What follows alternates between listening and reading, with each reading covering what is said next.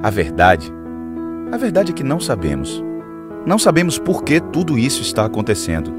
Não sabemos quem provocou tudo isso.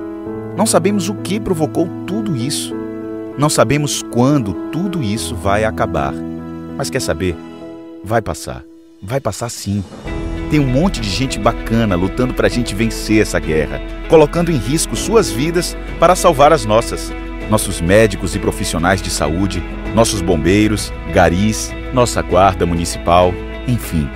Tem muita gente fazendo bonito nesse momento tão difícil. Inclusive vocês que estão em casa. Tenho certeza que estão ajudando muito. Olha, a gente só tem a agradecer a todos vocês Fica aqui o nosso muito obrigado, porque a gente também está fazendo nossa parte e tenho certeza que juntos venceremos mais essa.